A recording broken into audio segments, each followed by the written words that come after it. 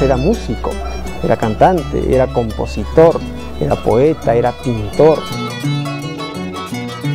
Para el folclore huancaíno significaba pues una biblioteca andante. Entregado desprendidamente por la cultura y por, por comunicar estos conocimientos y atendió a la solicitud de Sonoyo Daga para que le ceda esas letras como el himno de Huancayo. Yo soy huancaíno por algo.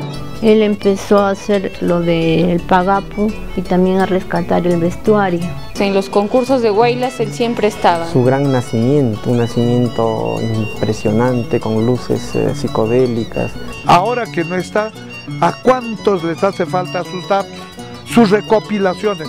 Sus consejos, sus ideas. En resumidas cuentas, no tendríamos historia cultural si él no hubiera estado presente.